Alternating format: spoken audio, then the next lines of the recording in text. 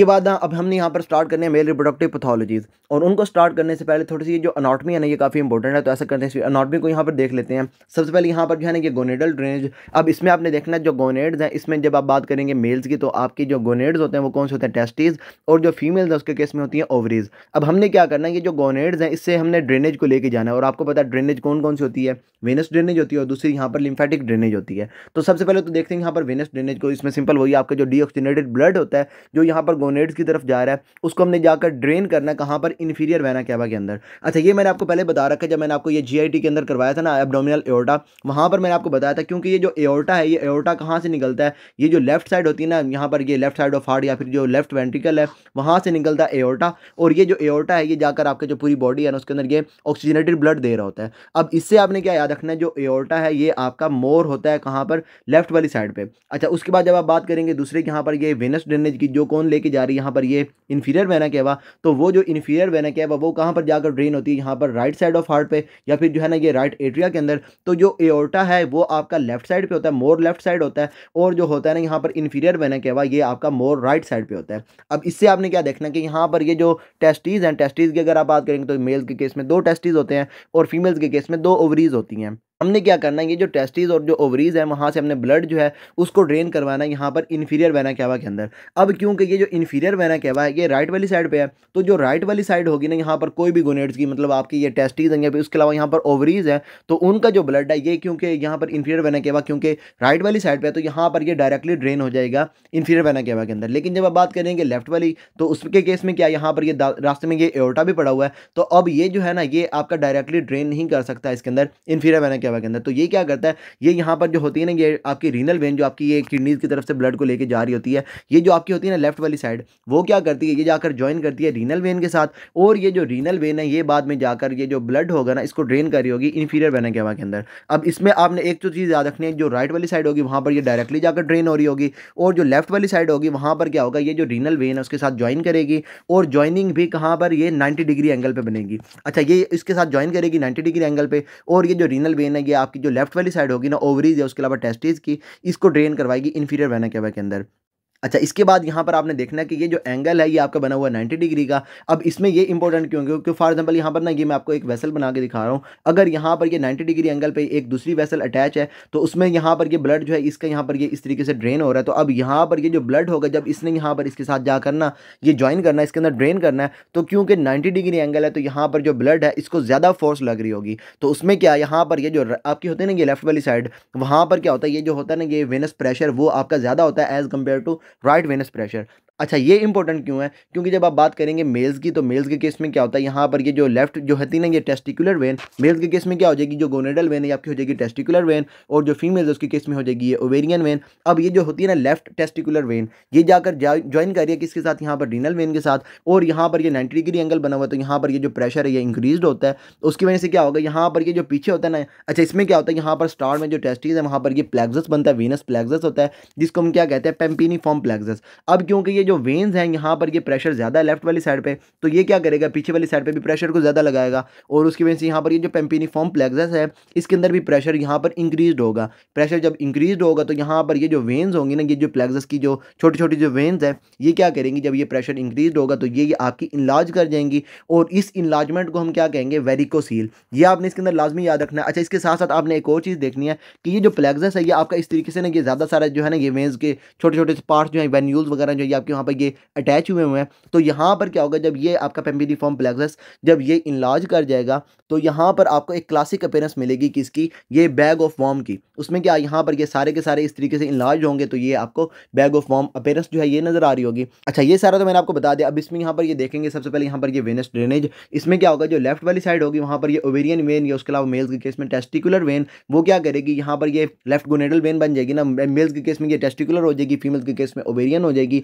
और वो क्या करेगी? ये जाकर ज्वाइन करेगी लेफ़्ट रीनल वेन के साथ और लेफ़्ट रीनल वेन जो है, ये आपका जो ब्लड है, उसको ड्रेन कर रही होगी इन्फीरियर वेना केवा के अंदर। अच्छा उसके बाद जब आप यहाँ पर बात करेंगे राइट वाली साइड की तो राइट वाली साइड जो होगी ना, उसके अंदर ये टेस्टिकुलर या उसके अलावा जो ओवेरियन वेन है, ये डायरेक्टली जाकर इन्फीरियर वेना केवा जो है, उसके अंदर ये ड्रेन कर रही होगी। अच्छा इसके बाद क्योंकि ये जो लेफ़्ट टेस्टिकुलर वेन है, ये एंटर करेगी left renal vein at ninety degree angle flow is less laminar on left then on right और उसकी वजह से यहाँ पर ये जो लेफ़्ट विनस प्रेशर है, ये इंक्रीज होता है then our right venous pressure और उसकी वजह से यहाँ पर जो होते हैं ना varicocele they are more common on left side ये आपने इसके अंदर लाजमी याद रखना है कि जो वेरिकोसील्स होंगे, क्योंकि यहाँ पर जो टेस्टिकुलर वेन है, ये जाकर ज्वाइन कर रही है ना यहाँ पर लेफ़्ट रीनल वेन के साथ तो जो वेरिकोसील्स बनेंगे पेम्पिनिफॉर्म प्लेक्सस की इलाजमेंट की वजह से, वो लेफ़्ट साइड पर ज़्यादा होंगे as compared to right side पर अच्छा इसके बाद यही यहाँ पर एक नमोनिक भी इन्होंने बनाया हुआ है, जो लेफ़्ट वाली साइड है left gonadal vein takes the longer way और उससे यहाँ पर ये जो लेफ़्ट वाली साइड है, उसके अंदर ये इनलाजमेंट ये आपने इसके अंदर याद रखना लाजमी, क्योंकि यहाँ पर ये जो इसकी अटैचमेंट हो रही है नाइन्टी डिग्री एंगल पर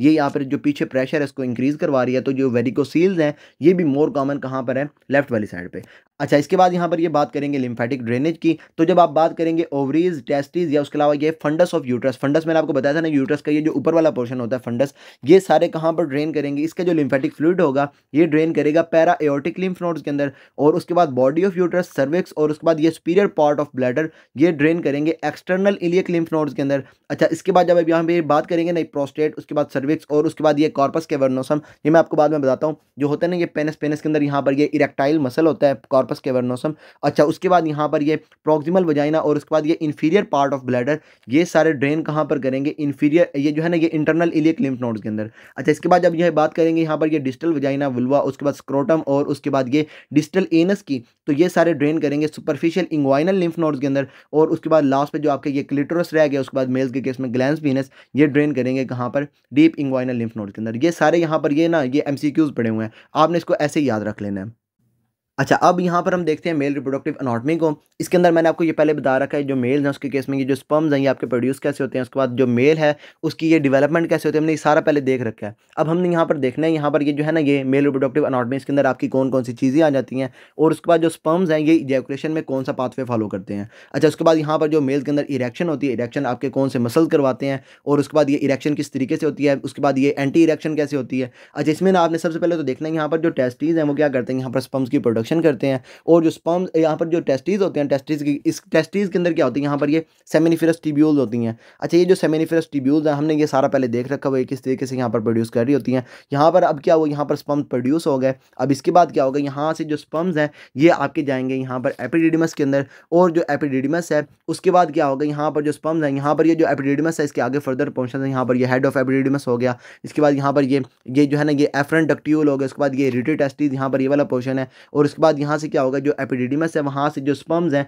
ये आपके एपिडिडमस से जाएँगे यहाँ पर इसके अंदर। ये क्या यहाँ पर ये वॉल डेफरेंस अच्छा जो वॉल डेफरेंस है, इसके बाद क्या होगा? यहाँ पर ये आपके ट्रैवल करते जाएँगे, यहाँ पर ये एम्प्यूला वाला पोर्शन आ जाता है इसका। और उसके बाद ये जो सेमिनल वेजिकल है, इसके साथ ये ज्वाइन कर रहा होता है। और जब ये दोनों आपस में ज्वाइन कर जाते हैं तो ये बन जाती है यहाँ पर ये इजैकुलेटरी डक्ट ये वाला जो पोर्शन है, ये कौन सा यहाँ पर इजैकुलेटरी डक्ट और उसके बाद ये जो ऊपर ब्लैडर पड़ा हुआ है ब्लैडर में क्या प्रोड्यूस हो रहा है? यहाँ पर यूरिन और उसके बाद ये जो इजैकुलेटरी डक्ट है, यहाँ से आपके स्पम्स जा रहे हैं। अब ये दोनों बाद में आपस में ना, एक चैनल में आपके ड्रेन हो रहे होते हैं। ऊपर से ये यूरिन आ रहा है, इधर से यहाँ पर ना ये आपके स्पम्स वगैरह जा रहे हैं। दोनों एक टाइम पे तो नहीं जा रहे होते। लेकिन क्या यहाँ पर जो यूरिन है और उसके बाद जो टेस्टीज ये जो स्पम्स है ना, ये दोनों एक ही पाथवे जाना उसको फॉलो करके यहाँ से आगे बाद में जा रहे होते हैं। अब इसके बाद यहाँ पर अगर यूरिन की बात करेंगे, यहाँ पर यहाँ पर ये स्पम्स की बात करेंगे, ये कहाँ पर जाएँगे? यहाँ पर ये यूरिथ्रा के अंदर जाएँगे और यूरिथ्रा के बाद में ये आपकी जो पीनस है ना पीनस में जाएँगे और वहाँ से जो बॉडी है उसके बाहर जा रहे होंगे। अच्छा इसमें यहाँ पर ये इन्होंने एक नमोनिक बनाया हुआ है। यहाँ पर ये सेवन आपने आपने इसके अंदर सिंपल याद रख लेना। इसमें सिंपल क्या होगा? यहाँ पर ये सेमिनिफरस ट्यूब्यूल्स हैं, वहाँ से आपके स्पम्स प्रोड्यूस होंगे और यहाँ से ये जाएँगे एपिडिडमस के अंदर।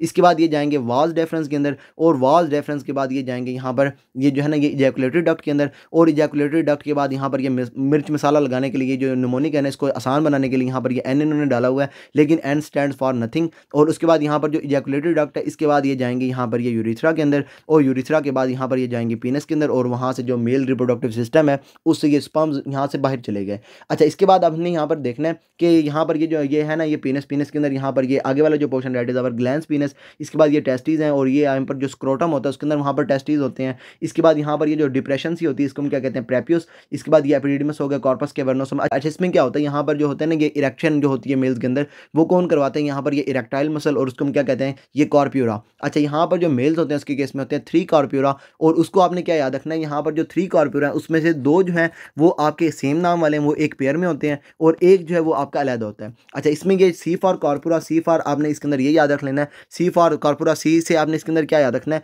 कि यहाँ पर जो कॉर्पोस यह है ना ये कॉर्पोरा ये कौन कौन से यहाँ पर एक तो होता है कॉर्पस केवर्नोसम और दूसरा होता है यहाँ पर कॉर्पस स्पोन्जियोजम अच्छा ये जो सी है ना सी आपको बताएगा कि यहाँ पर ना आपके कौन से जो है, ये डबल है, कौन सा आपका सिंगल है? क्योंकि यहाँ पर जो कॉर्पस केवर्नोसम है, इसमें दो सी आ रहे हैं, दो सी सी है तो यहाँ से क्या होगा? यहाँ पर जो कॉर्पस केवर्नोसम है, ये आपके पेयर में होंगे और जो दूसरा है ना, यहाँ पर कॉर्पस स्पोन्जियोजम क्योंकि इसके अंदर सिर्फ़ और सिर्फ़ एक सी है तो यहाँ पर जो कॉर्पस स्पोन्जियोजम है, ये आपका सिंगल होगा। अच्छा इसके बाद आपने इसके अंदर देखना है, यहाँ पर जो कॉर्पस के वर्नोजम है, इसमें यहाँ पर दरमियान में आपको सेंट्रल में क्या मिलती है? यहाँ पर डीप आर्ट्री और जो कॉर्पस सेपोन्जियोजम है, इसके केस में आपको यहाँ पर जो सेंटर है, उसके अंदर आपको ये यूरिथ्रा मिलता है। ये तो हो गया ना यहाँ पर आपके ये ये जो है ना, ये इरेक्टाइल मसल्स। इसके बाद क्या होता है, यहाँ पर जो कॉर्प्यूरा होते हैं, इनके इनके अराउंड आपको मिलती है एक लेयर डेट इज़ अवर ये ट्यूनिका एल्बिजीनिया, और उसके बाद यहाँ पर ये जो कॉर्पस के वर्नोजम है, इन दोनों के दरमियान, इन दोनों के अराउंडिंग भी आपको मिल रही है यहाँ पर ये कॉर्पस ये जो है ना, ये ट्यूनिका एल्बिजीनिया। इसके बाद यहाँ पर ये जो पड़ा हुआ है ना, नीचे यहाँ पर ये कॉर्पस पोन्जियोसम इसके अराउंड भी यहाँ पर आपको ये नज़र आ रही है ये जो है ना, ये ट्यूनिका एल्बिजीनिया।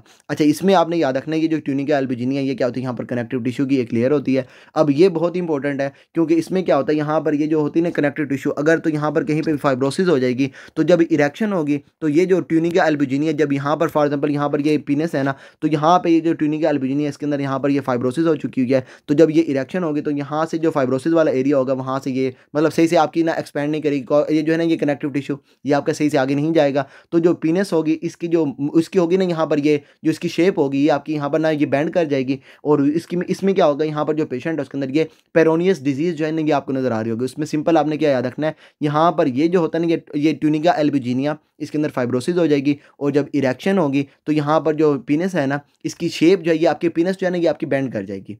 अच्छा ये तो सारी होगी ना यहाँ पर, ये जो कॉर्पस के वर्णों में इनके अराउंड आपको मिल रही होगी यहाँ पर, ये ट्यूनिका एल्बिजीनिया। इसके बाद क्या होगा, ये जो सारे कॉर्प्यूरा हैं, इन सारों को सराउंड कर रही होगी यहाँ पर एक फेशिया, जिसको हम क्या कहेंगे, यहाँ पर deep fascia also called as Buck's fascia और उसके बाद क्या होगा, ये जो बुक्स फेशिया इसको भी सराउंडिंग किया होगा एक फेशिया ने, जिसको हम क्या कहेंगे, यहाँ पर superficial fascia also called as dartos fascia और उसके बाद ये जो है ना, ये सबसे जो है ना, ये एक्सटर्नल आपको क्या मिलेगी, यहाँ पर ये, यहाँ पर ये स्किन अच्छा ये सारा हो गया, इसके अंदर मैंने आपको ये सारा बता दिया। इसके बाद आपने इसके अंदर देखना है, यहाँ पर ये सुपरफिशियल डॉर्सल वेन पड़ी हुई है उसके बाद यहाँ पर ये डॉर्सल नर्व होगी डॉर्सल आर्टरी उसके बाद यहाँ पर ये डॉर्सल वेन होगी डीप डॉर्सल वेन अब इसमें आपने देखना है जब ये इरेक्शन होनी है तो इरेक्शन के लिए हमें क्या चाहिए यहाँ पर ये जो कार्प्यूर हैं ये आपके स्वेल कर जाए और स्वेलिंग के लिए यहाँ पर जो ब्लड है ब्लड सप्लाई यहाँ पर ज़्यादा होनी चाहिए और जब ये ब्लड सप्लाई हमने यहाँ पर ज़्यादा लेके आने तो यहाँ पर ये जो वेसल्स हैं इसको हमने करवाना डायलेट तो यहाँ पर ये जो डायलेशन है ना वेजो डायलेशन ये आपकी करवाएगी यहाँ पर इरेक्शन अच्छा इसके बाद आपने इसके अंदर देखना है कि ये जो इरेक्शन होती है ना मेल्स के केस में ये कौन करवाता है यहाँ पर जो पैरासिम्पथेटिक नर्वस सिस्टम है वो करवा रहा होता है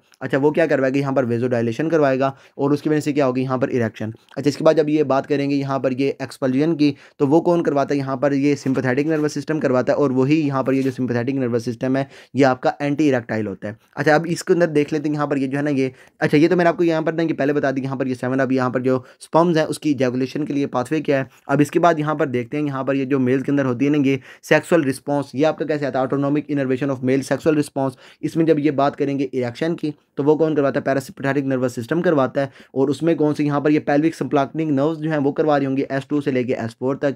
और उसमें क्या, मैंने आपको पहले बता दिया, इसमें आपने जब ये इरेक्शन करवानी है तो प्रो इरेक्टाइल में आप क्या करवाएँगे? जो वेसल्स हैं, उसको आप डायलेट करवाएँगे। और वेसल को डायलेट करने के लिए यहाँ पर जो नाइट्रिक ऑक्साइड है, ये आपका रिलीज़ होगा ये आपको पहले से बता रखा है, जो नाइट्रिक ऑक्साइड है, ये क्या करवाता है? जो वेसल्स हैं उसकी डायलेशन करवाता है। जब वेसल्स की डायलेशन होगी तो यहाँ पर जो ब्लड है पेरिफेरल रेजिस्टेंस जो है आपकी कम हो जाएगी तो यहाँ पर जो ब्लड है, ये ज़्यादा आ रहा होगा। और ये जो नाइट्रिक ऑक्साइड है, ये कैसे करता है? यहाँ पर जो होता है ना, ये जो जो होता है ना, यहाँ पर ये जीएमपी ये जो होता है ना, यहाँ पर जीटीपी उसकी जाकर ना वहाँ पर क्या करवाता है? ब्रेक डाउन करवाता है। और उससे क्या होता है? यहाँ पर जो जीएमपी है, जो जीटीपी है सॉरी वो आपका कन्वर्ट हो जाता है इंटू साइक्लिक जी और जो साइक्लिक जी है, उसका जब लेवल इंक्रीज होगा तो वो क्या करेगा? यहाँ पर एडिनलाइज साइक्लेज को जो जाकर ना ये, जो सॉरी इसके केस में क्या होता है? यहाँ पर ये वोनालाइल साइक्लेज होता है, उसको जाकर ये एक्टिवेट करवाएगा और वहाँ से क्या होगा, यहाँ पर जो स्मूथ मसल्स हैं, उसकी रिलैक्सेशन होगी। जब स्मूथ मसल्स रिलैक्स कर जाएँगे तो यहाँ पर जो वेसल्स हैं, वो आपकी डायलेट कर रही होंगी और वो आपका होगा यहाँ पर ये प्रो इरेक्टाइल जब आप यहाँ पर बात करेंगे, यहाँ पर ना ये एंटी इरेक्टाइल की तो वहाँ पर ये आपका सिंपथेटिक नर्वस सिस्टम हो रहा होगा और वो क्या करेगा, यहाँ पर एपिनेफ्रीन या उसके अलावा यहाँ पर नॉर एपिनेफ्रीन वगैरह को रिलीज़ करेगा।